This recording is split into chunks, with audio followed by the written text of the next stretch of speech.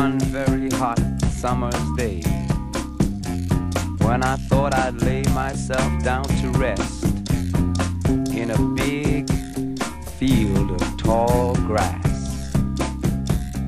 I lay there in the sun and felt it caressing my face as I fell asleep and dreamed.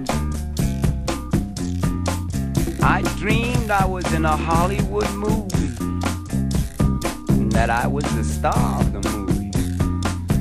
This really blew my mind. The fact that me, an overfed, long-haired, leaping gnome, should be the star of a Hollywood movie. Hmm. But there I was. Hmm. I was taken to a place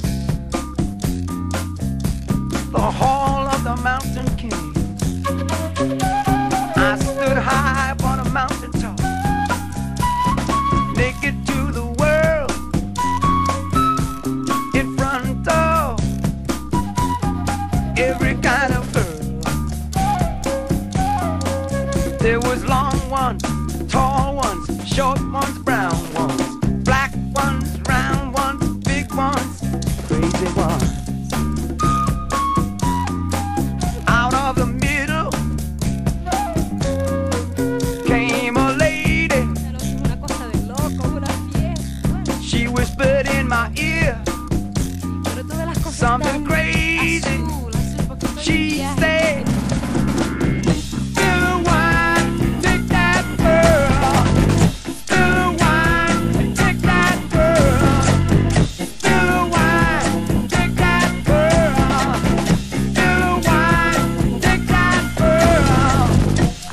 feel hot flames of fire roaring at my back. As she disappeared, but soon she returned. In her hand was a bottle of wine, in the other, a glass. She poured some of the wine from the bottle into the glass it to her lips.